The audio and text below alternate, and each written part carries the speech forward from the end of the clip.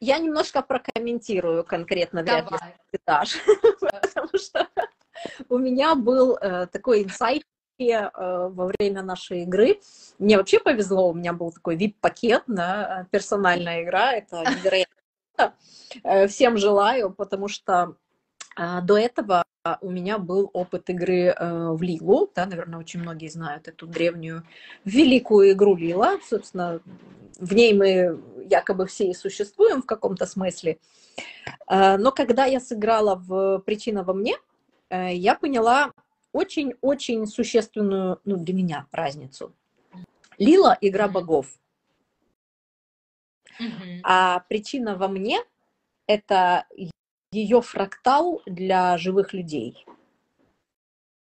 Вот для меня это игра про жизнь, про человеческие э, опыты, про человеческие проживания, про человеческие ситуации.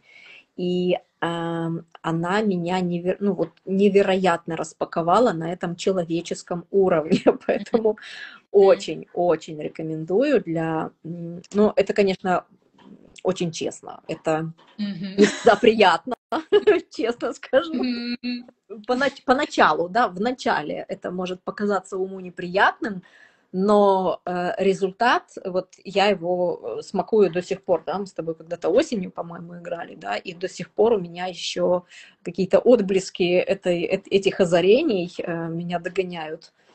Mm-hmm. Поэтому вот за этим точно к Оле.